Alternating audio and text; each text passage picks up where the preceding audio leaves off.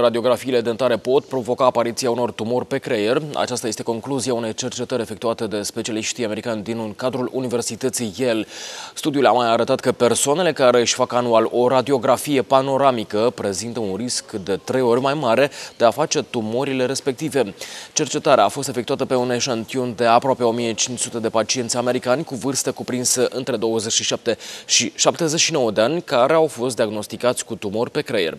Potrivit regulilor Asociației Dentiștilor Americani, copiii nu ar trebui să facă radiografii dentare decât odată la un interval de 2 ani de zile, adolescenții câte una, una la un an, interval de un an și jumătate, 3 ani, iar adulții câte o radiografie la 2-3 ani.